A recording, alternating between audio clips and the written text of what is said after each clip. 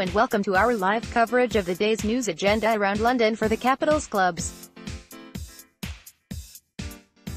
With the 2018 World Cup now done and dusted, clubs across the country will soon ramp up their summer transfer business.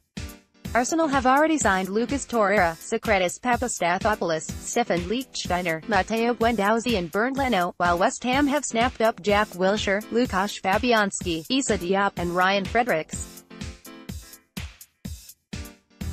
Despite things remaining quiet on the transfer front, Tottenham have been busy off the field, handing new long-term deals to Son Heung-min and Erik Lamela. Meanwhile in West London, former Napoli boss Maurizio Sarri has been confirmed as the new Chelsea manager, bringing an end to Antonio Conte's two-year spell in charge. Sarri is reunited with midfielder Jorginho, who has signed a five-year deal with the Blues, but there remains question marks over the futures of Eden Hazard and Thibaut Courtois, with the Belgium pair both linked with the move to Spain.